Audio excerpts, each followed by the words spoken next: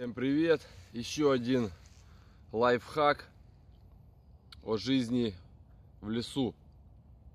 Назовем это так. Насчет э, сбора грибов. Люди, которые живут э, всю жизнь возле леса или в лесу, собирают грибы, они подтвердили, что гриб, как у нас общепринято, срезать нельзя. Как у нас вот он растет, да, грибницы, берут и срезают его э, почти под ноль. Его нужно выкручивать. Выкручивать. Берете так и выкручиваете. Э, зачем это делается? Когда вы срезали гриб, то в этом сезоне с, этого же места уже э, гриб не будет расти. То есть он как пенек работает уже. Все, он уже погиб.